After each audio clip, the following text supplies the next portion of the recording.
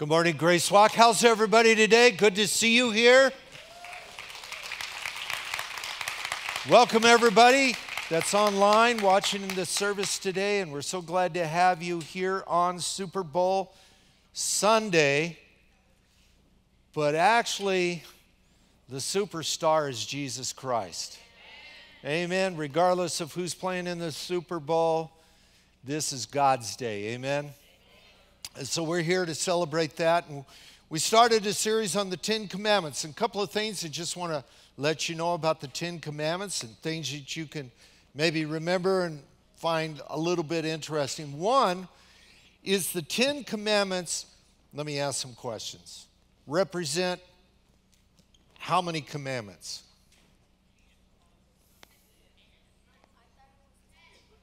No, they represent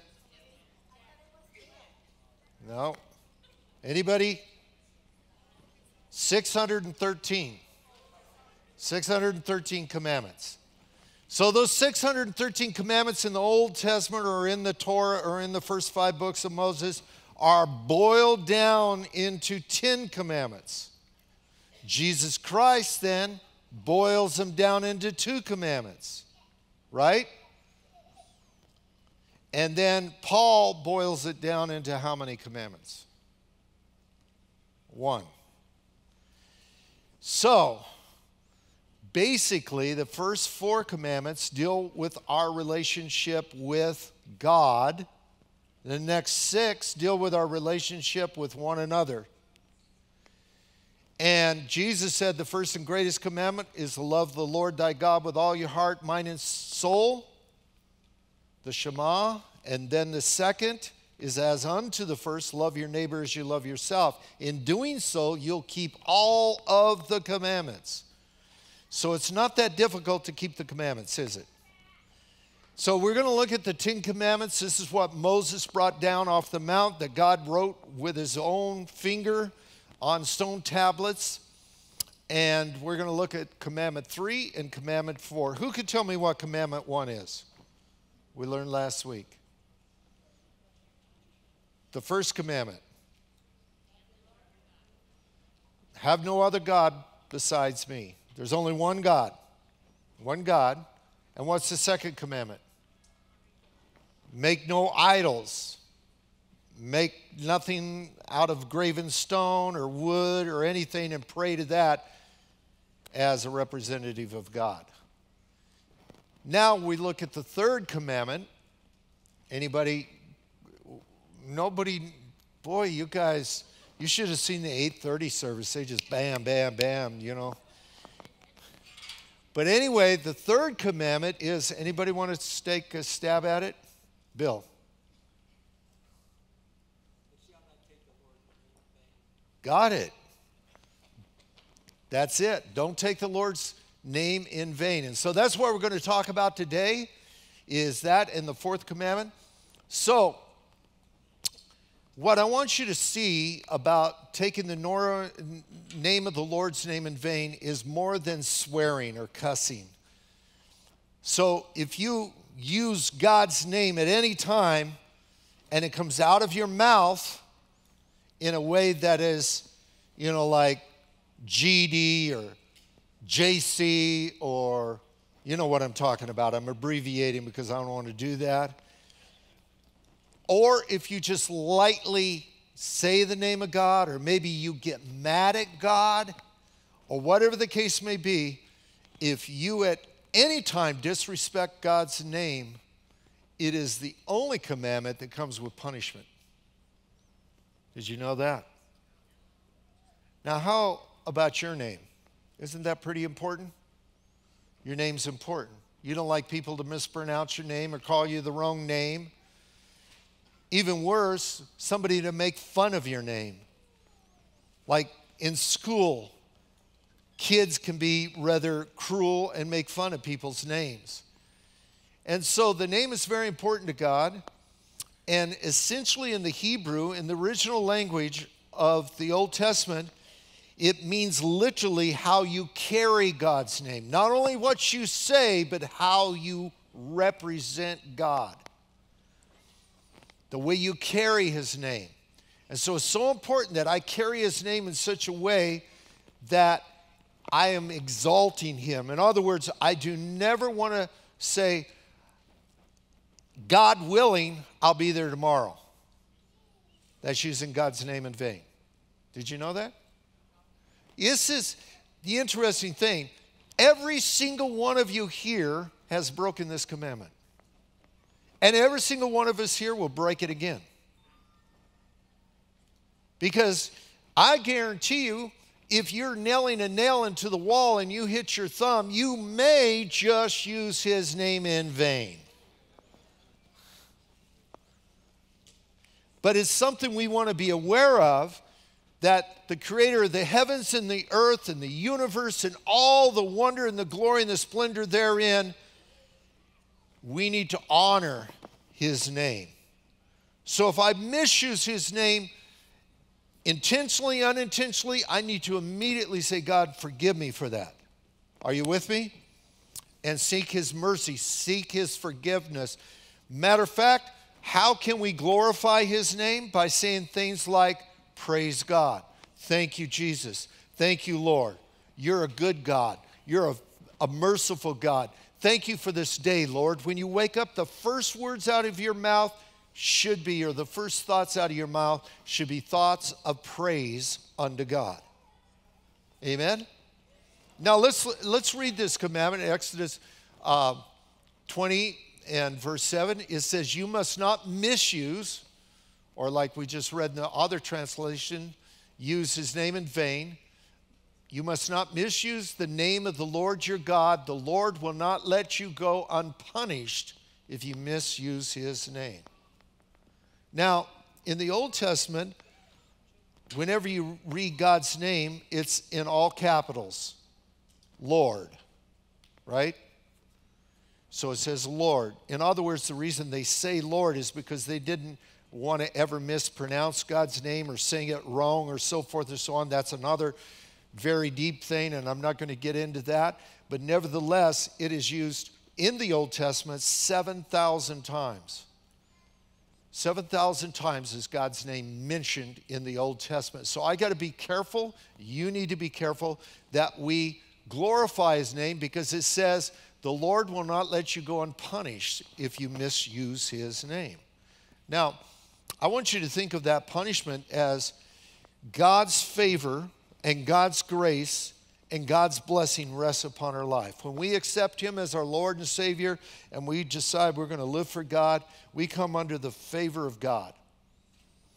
But the moment I begin to misuse His name or I flippantly or just carelessly begin to utter His name, it's like God's favor moves off my life.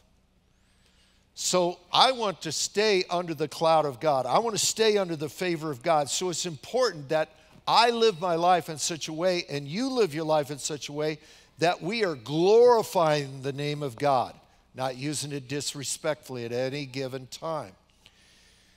Now, we're going to read in a minute in Leviticus where it talks about this more that he takes his name very seriously, just like you take your name seriously he takes his name seriously. So in Leviticus chapter 24 and verse 16, it says, Anyone who blasphemes, and uh, the blasphemy is to use his name in vain, or to use it carelessly, or to misuse his name, or say derogatory things, or to blame God, or to get angry at God, or any number of things. So if I go and curse something, that is using his name in vain. So I don't want to ever go through life saying GD, abbreviation, you know what. I want to be careful I don't use profanity. revile his name, that's where I begin to criticize God and begin to question God and to get angry with God. Any of that is profaning the name of God. In actual, what it literally is, is the opposite of blessing God's name.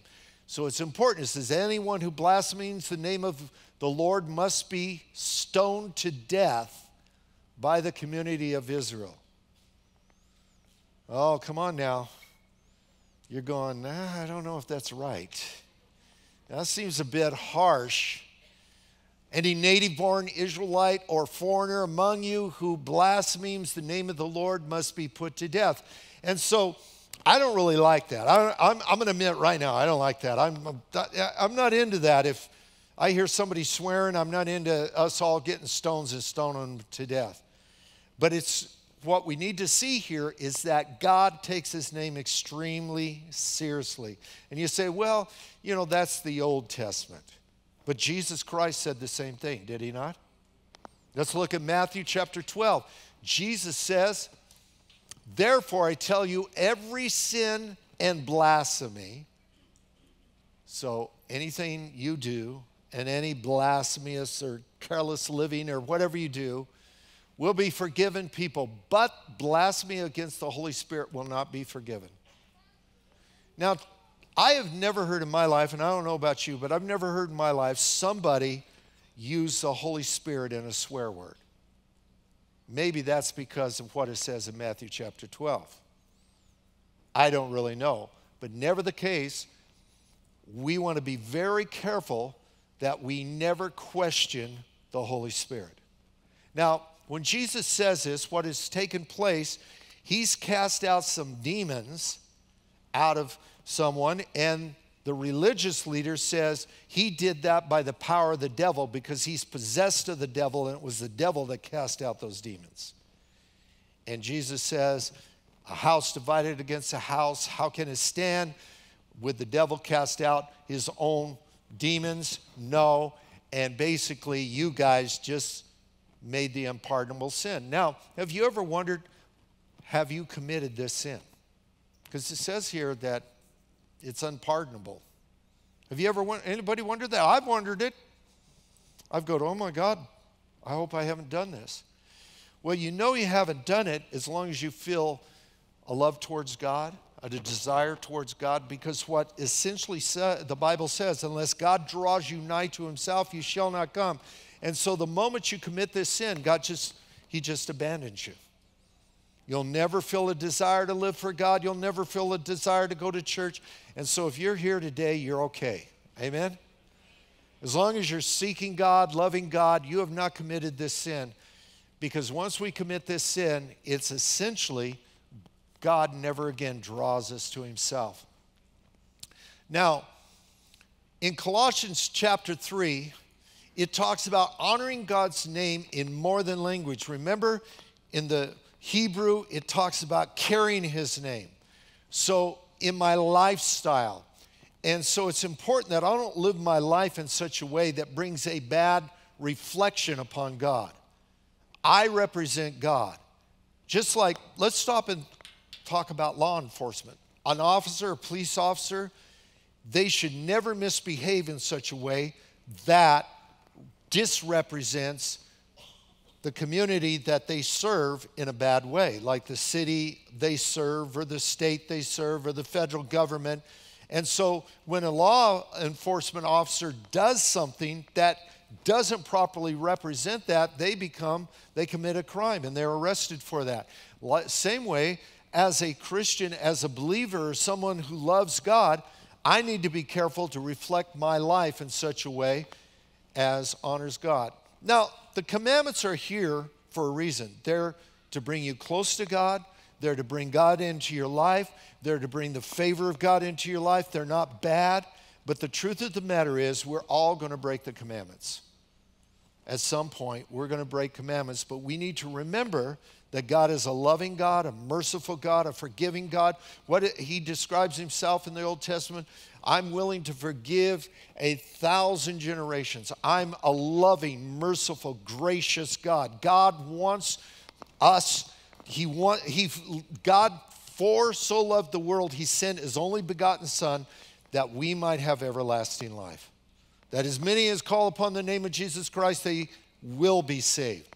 So God wants a relationship with you. God wants to be close to you. But when, if I have the guidelines of the commandments, then I can be careful not to separate myself from God. Does that make sense? Okay, Colossians chapter 3 says this.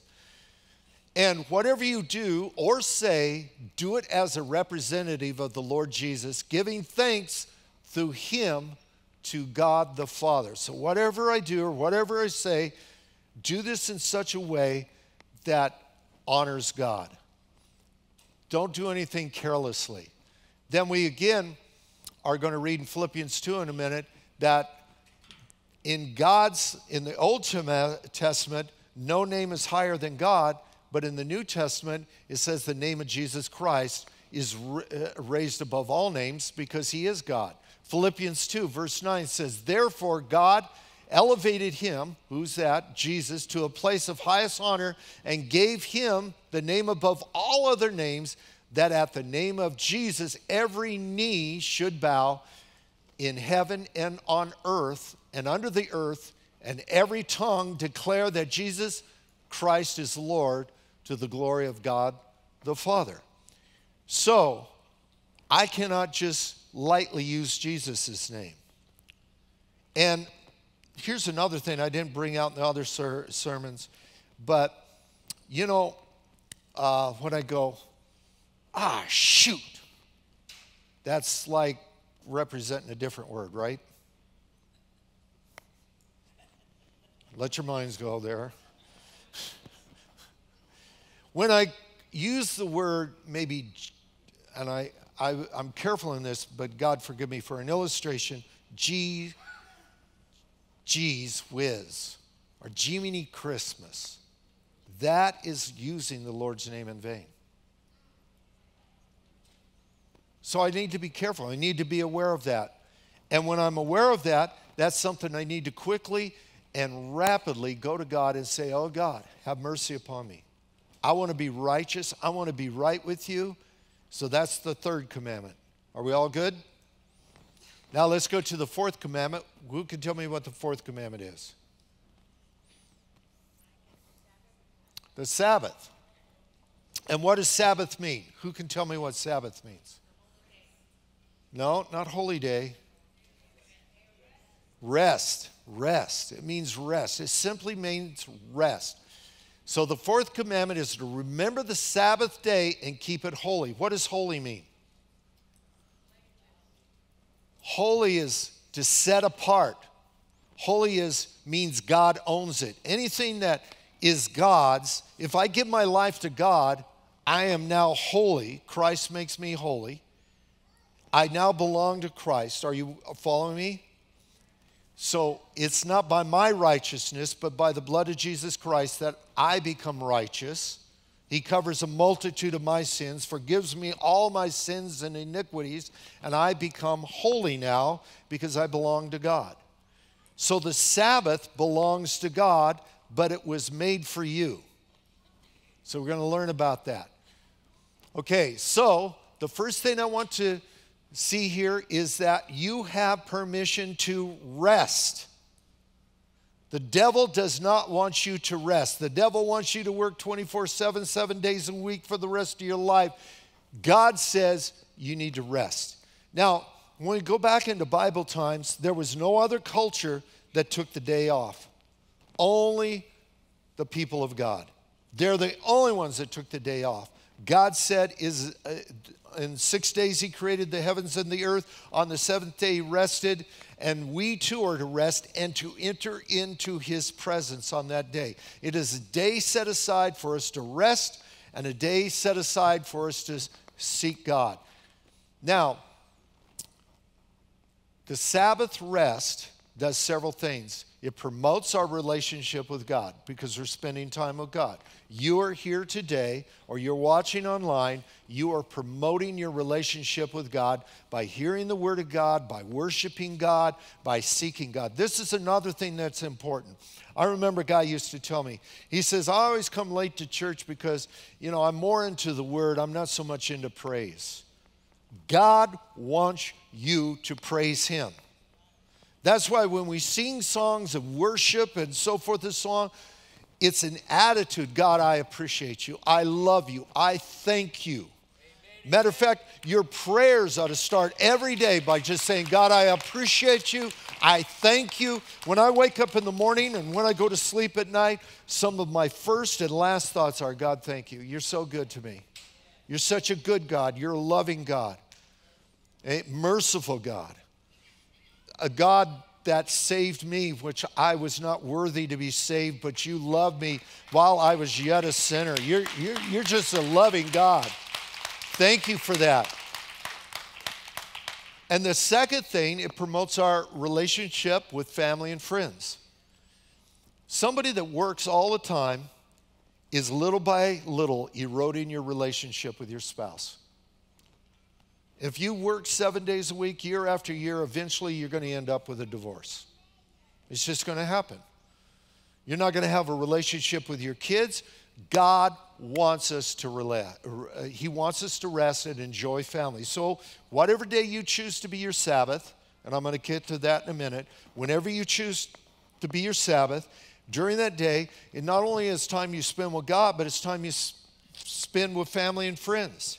It's a time you just rest. You have permission to take a nap. I call it laying before the Lord.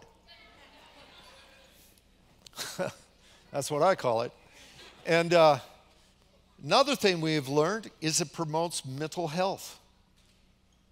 If you don't rest, if you are constantly going 24 7, work, work, work, work, work, work, work, you begin to break down physically, you begin to break down mentally. Here's an interesting fact Did you know the majority of people, the majority of people that live to be over 100, all keep a Sabbath? Not all of them, but the majority of them keep a Sabbath.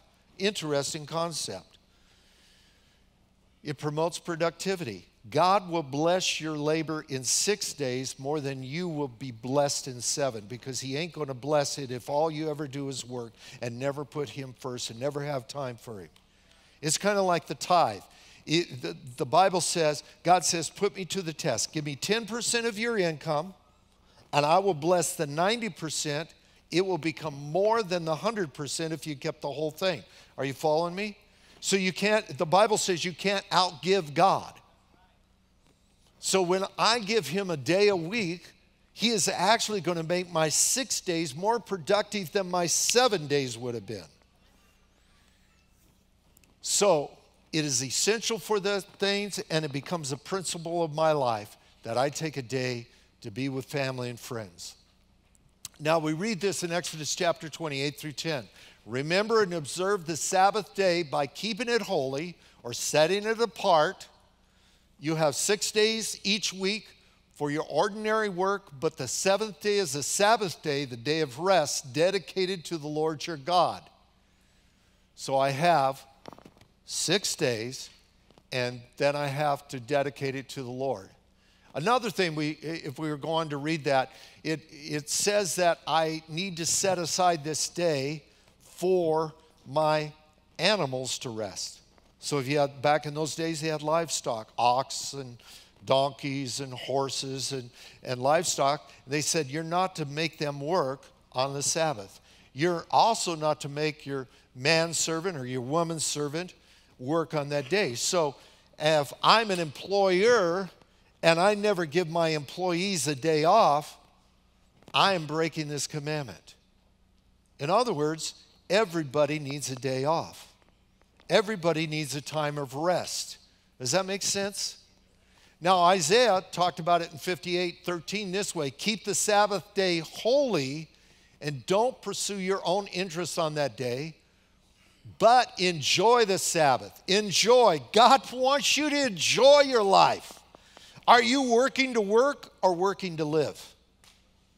You can spend your whole life working. Your kids grow up, your wife and everybody becomes distance from you and you just little by little you because you are constantly got to work. No, God wants us to enjoy life.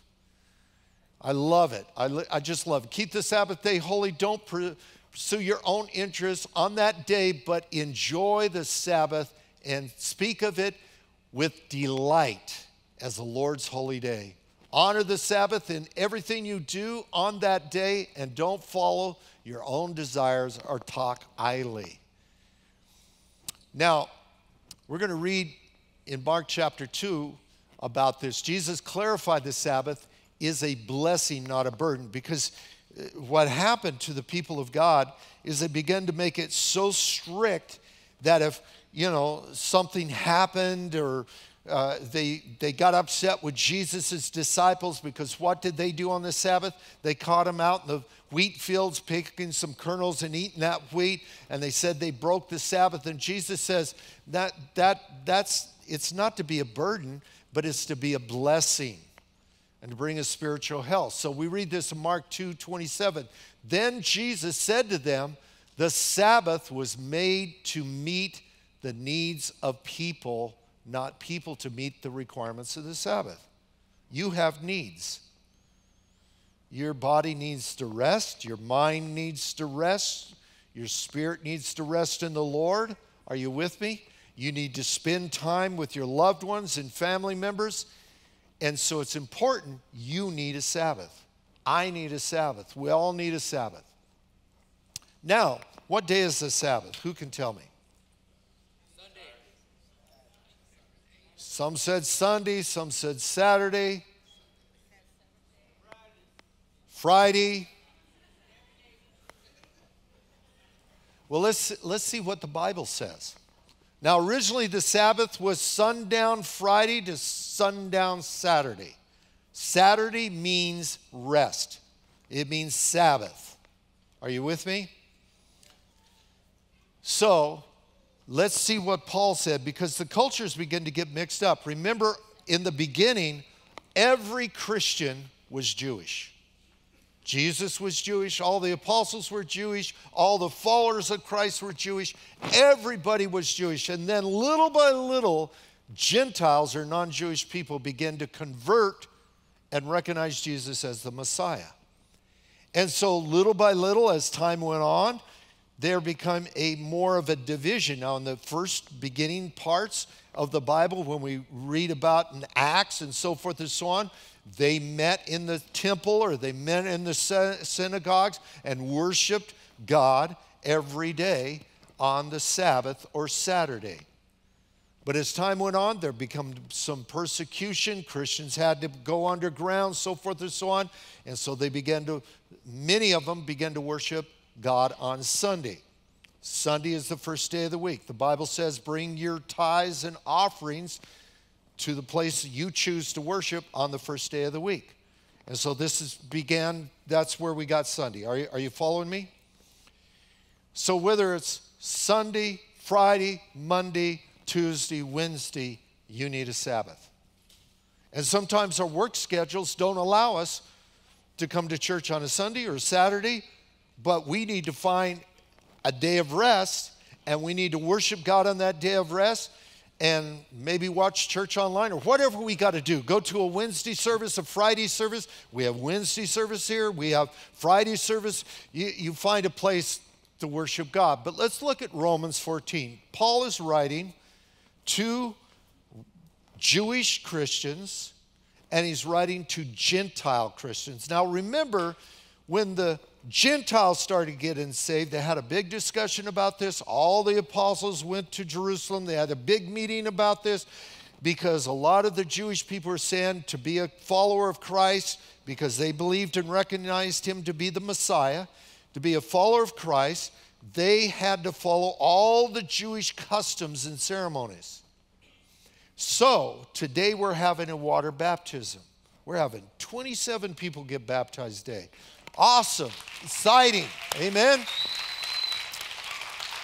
But what if we decided that, you know, you really do need to follow all the Jewish ceremonies and so forth. And, and, and uh, so, all of the male people getting baptized, after you're baptized, we will be having a circumcision in the back there.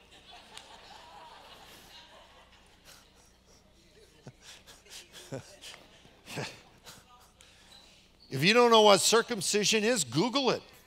I ain't telling you. the Bible says that we now need to circumcise our hearts and cut off the fat of our hearts. So he's writing, they're discussing this about the Sabbath because this is a big deal. This is a big deal. And he says here in Romans 14, 5, he says, In the same way, some think one day is more holy than another day. That would be the Jewish people and the Gentile people, and every day is alike. Uh, then you should, let me find my place you should each be fully convinced that whatever day you choose is acceptable. So that's right in the Bible. Amen.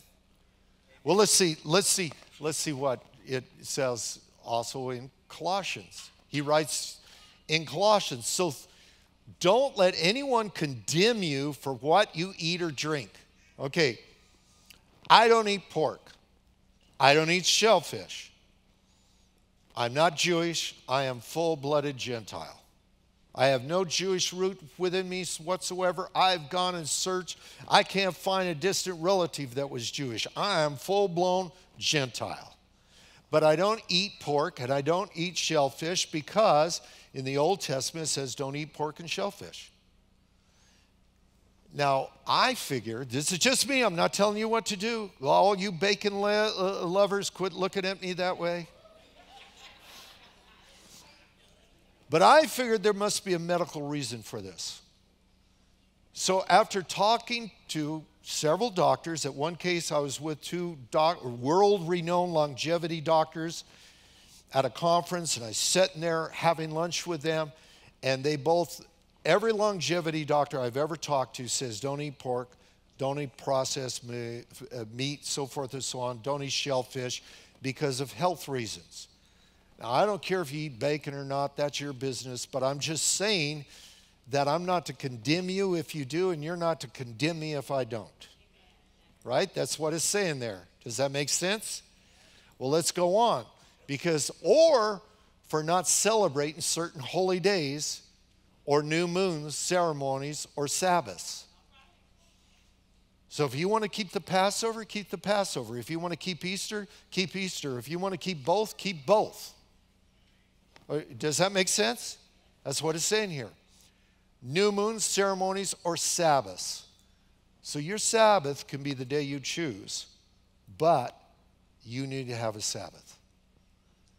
Four, these rules only are shadows of the reality to come, and that Christ Himself is that reality.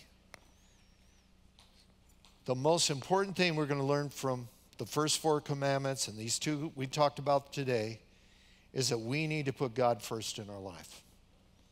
That's why Jesus summarized it up in love the Lord your God with all your heart, with all your mind, and with all your soul. Where did he get that from? From Deuteronomy chapter 6, where it says, Have you ever seen, like on the outside of our church, we have a mezuzah? That's a little thing there for when you go out on the left hand side you can look and you see a little plate there. So in jewish culture whenever you go in to your house or come out of your house you touch that and kiss your lips. And that means in my going and my coming i'm remembering that the lord thy god is god. There's only one god but God, and I'm going to live for Him with all my heart, mind, and soul. So that is what Jesus, when He was asked that by the Pharisees, what's the first and most important commandment? That is the Shema. That is what He's quoting. Are you following me? And so He uh, tells us that. So the most important thing that we need to remember as followers of God is that we're putting God first in our life. That we're not going to take his name lightly. If we do, we're going to ask forgiveness. We're going to, and he is, he is faithful and just to forgive those who ask for forgiveness. that we're not going to go around swearing, that if that's been a lifestyle we used to have, we begin to work on that. Amen? Amen. When, I, when I first got saved, I, I couldn't talk without swearing. I mean, it's like how I talked. You know, it's like, you know, I was talking to a guy who works construction. He's saying, well, those construction workers, I know I've worked construction, I know. There, it's not just construction, it's everywhere. People talk that way, but when we follow and accept Jesus Christ, we quit talking that way. Amen? And it's not our, our job to go around judging other people and stuff like that. That's God's business. Now, what did Jesus say about rest? Who can remember? He said, yes, he said to enjoy it. But what did, there's a particular scripture in Matthew where it talks about doing what? Entering into his rest. It is something you mentally and emotionally and physically choose to do. I'm going to enter into the rest of the Lord. So we read in Matthew chapter 11 and uh, uh, verse 28 Come unto me, all ye that are labor and are heavy laden, and I will give you rest. And so we could use that labor for people that work all the time. We're to enter into his rest. We could talk about people that we're just carrying lots of stuff in our lives. We need to enter into his rest. What you need to do when you come to church, you need to release and let go of all the burdens and all the labor and all the stuff that's crushing you and beating you up and you're struggling with. And this is a time, this is a day that we're not going to worry about the bills. We're not going to worry about the kids. We're not going to worry about anything. We're just going to enjoy life. We're going to worship God. We're going to enjoy and have a great day. Amen. And so it's okay after church, go and celebrate the Super Bowl. Enjoy the Super Bowl, watch the game, and root for whatever team you want to root for. And I'll just tell you, my team's not in the Super Bowl. What team? I'm wearing my team's jersey. What team is this? Green Bay Packers. So you might be a Rams fan, somebody said. So somebody might be some any San Diego fans here? San Diego? I'm throwing away a San Diego jersey. I have it's a perfect jersey. I'll give it to you if you want it. Thank you, thank you. Yeah. Because I just somebody gave it to me and I, I never wear San Diego. But I got it. Amen. San Diego Chargers. But nevertheless, what I want you to do is just let's enjoy the day. Amen. Let's enjoy whatever team it is. My wife's going for Kansas City Chiefs. I believe both the quarterbacks are believers, love the Lord.